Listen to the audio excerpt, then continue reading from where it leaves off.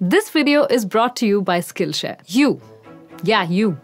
Did you know that between your air conditioner, your fancy car, and those RGB lights on your new computer, you were responsible for 5 kilograms of carbon dioxide emission just today. I'll omit the stats on methane out of respect for your privacy. But he who smelt it dealt it. Look, here's the situation in brief. The world is enveloped in a warm blanket of carbon dioxide. And just by existing and having a few minor indulgences, you're making the blanket thicker and thicker.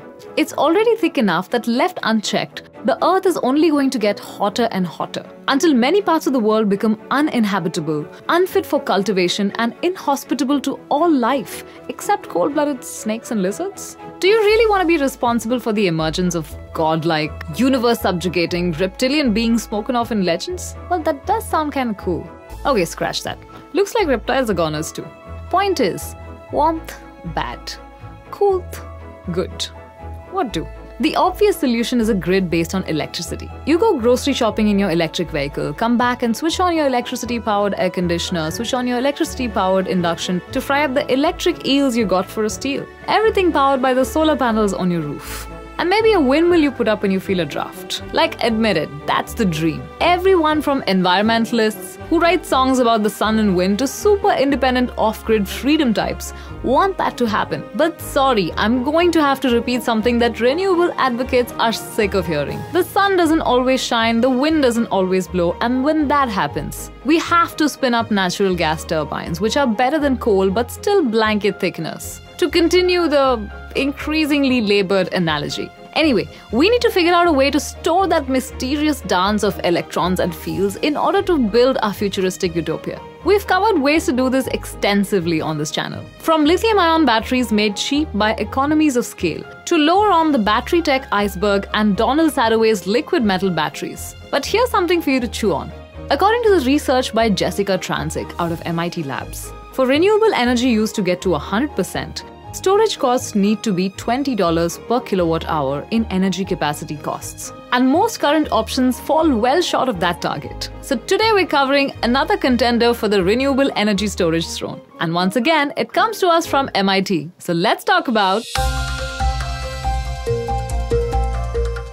Right up front, I'd like to clarify that plastic or conductive polymer based batteries are different from the LiPo batteries that are quite common today. Yes, LiPo means lithium polymer, but the polymer here is used as the electrolyte, the thing in between the electrodes, not the electrodes themselves like the batteries we're about to discuss. The team behind this project is mostly from MIT, and I'm not kidding when I say they absolutely hate metal. Their battery foregoes any lithium, cobalt, or lead immediately eliminating a lot of issues that we talk about with mining, extraction, etc. Instead, they use plastics or polymers, a special class called conductive polymers. An interesting tidbit I came across about these compounds was that the Nobel Prize for Chemistry in 2000 was actually awarded for work on figuring out their properties. So it must be pretty important stuff, right? Let's come back to that. Let's first take a look at what Polyjoule is promising. At a system level, they're claiming a 30% reduction in cost over lithium ion systems.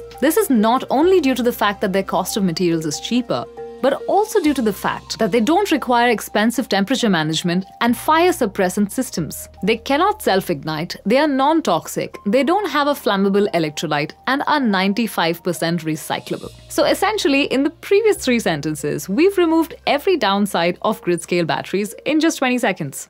But that's not all. While lithium ion batteries struggle at low temperatures, these plastic batteries have an operating range of minus 45 degrees Celsius to 50 degrees Celsius. So even extreme, barely inhabitable regions like Oymyakon in Russia and New Delhi, India can be home to these batteries. And if you're about to type that this sounds too good to be true, then wait for me to finish because there's more coming. It has a power density 10 times higher than lithium ion batteries, a lifetime of 20 to 30 years, and can be manufactured in paper mills. Okay, let me check my list. Is that it?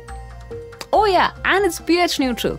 Not very sure what that means for the environment, but I'm pretty sure it's a good thing. And speaking of good things, Have you heard about Skillshare? Skillshare is an online learning community with thousands of inspiring classes for creative and curious people. It can help you make 2022 a year of learning, growth, and connection through creativity. Whether you're a dabbler or a pro, a hobbyist or a master, there's a class tailor made for you with classes for every skill level. Discover what you can make. Currently, I'm going through finding fulfillment using pivots to power your creative career by Emma Gannon. It has helped me recharge my professional battery and get going. It's a class that helps you take action toward your dreams. Whether you're feeling passionate about changing careers or just want to find a way to insert a little more joy into your life, after taking this class, you'll have the actionable tips and the inspiration you need to make your own creative pivot. The first 1000 people to use the link in the description below will get a 1 month free trial of Skillshare so you can start exploring your creativity today. What you're saying to yourself. These are all qualitative stuff, Sira. Give us some numbers. We hunger for math.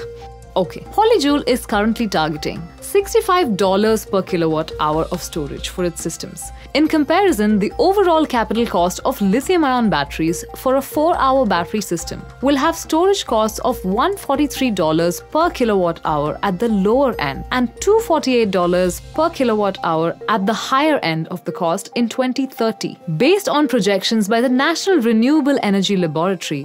Sounds pretty sweet. So, why isn't Elon Musk spending some of the $44 billion to buy this tech up for his Here we encounter that most inevitable of geometric solids in battery technology the unfortunate tetrahedron. Seriously, though, read the blog.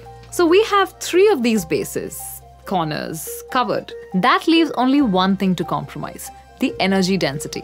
The amount of energy you can store in a given volume of the battery, or sometimes mass. I don't know. I just use them interchangeably based on context. So, for a given amount of electrical energy, these batteries take up five times as much space. So, that's a no go for mobile applications. Since we've spoken about grid storage right from the beginning, I'm sure most of you were expecting it. But while grid storage does not need a huge energy density, it is still a factor. In a presentation slash Q&A, the CEO of Polyjoule said that they are not aiming for long-term storage. Since you can always count on the sun coming out every day, being a Bangalorean, I strongly question that assumption. Though if you look at most of the grid storage today, 4 hours seems to be standard. Seasonal storage is probably best left to hydrogen. So 4 hours of energy storage sounds good. But recall this battery's property of extraordinarily high power density.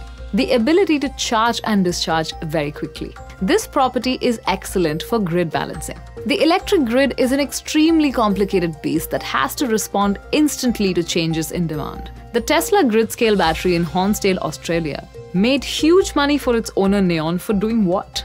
Balancing the grid, not for providing backup. This also helps power plants avoid needing to ramp up and down pretty quickly which hugely reduces the amount of carbon dioxide emissions they cause. So the high power density is not just a flex, it's a really useful and somewhat unique feature compared to all the other options we have available today. Now, all these wonderful features, and we still don't know how it works. So let's find out, shall we? Usually, we cover the technology much earlier in the video. In this case, the information was really hard to find.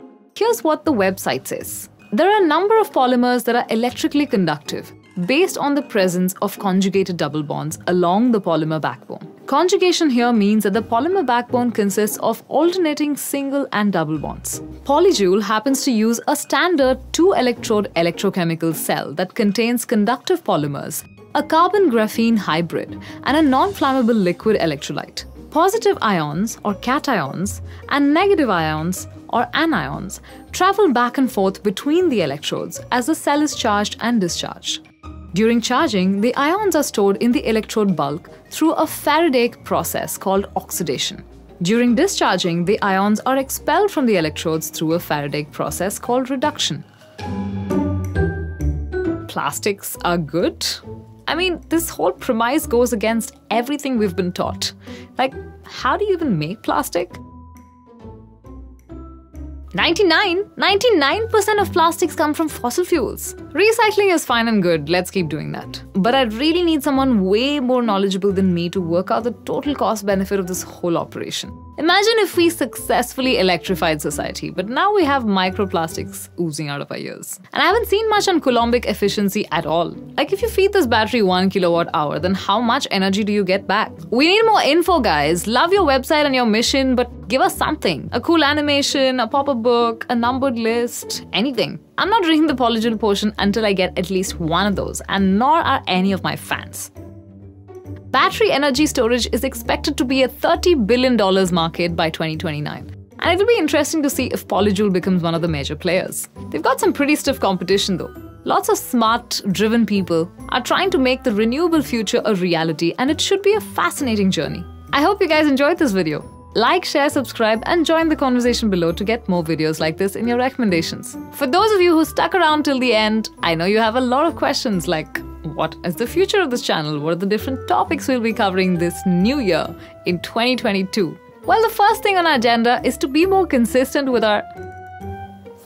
We're on May. We're on May. Okay, bye.